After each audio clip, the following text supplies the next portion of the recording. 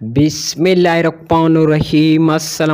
Pakistan with में, हम आपको वेलकम कहते हैं।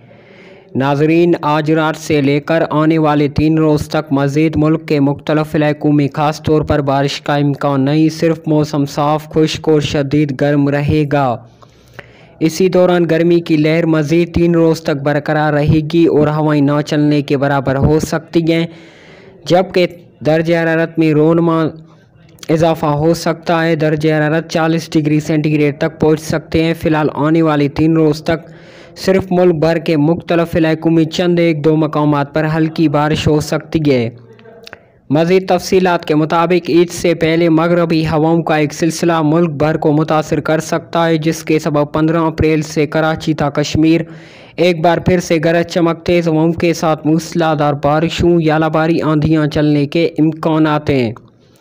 बारिशों की मकदार अच्छी साबित हो सकती है। इसी दौरान शदीद मौसमी हालात भी पैदा हो सकती हैं।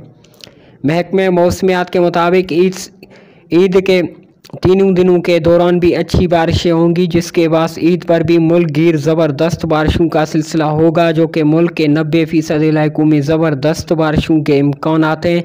बारिशों की मकदार सौ मिलीमीटर के करीब हो सकती है। याद रहे कि इसी दौरान गर्मी की शिदत में वाज कमी होगी।